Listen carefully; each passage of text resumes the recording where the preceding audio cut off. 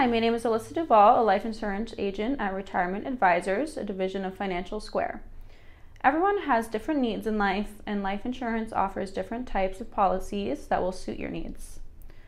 Term life policies are the most popular life insurance option due to their low premiums, but they are not the only option you have. You can also choose a whole life policy for permanent lifelong coverage and can build your financial assets. Let's go over what whole life insurance is.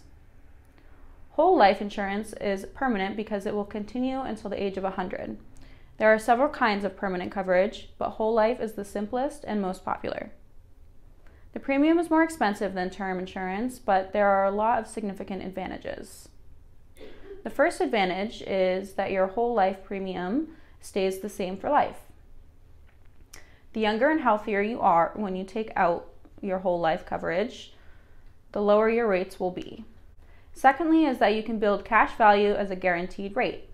The cash value is tax deferred and grows at a guaranteed rate every year.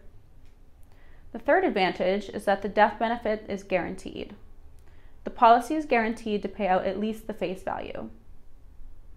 Another advantage is that if you purchase your policy from a mutual company, you may receive dividends.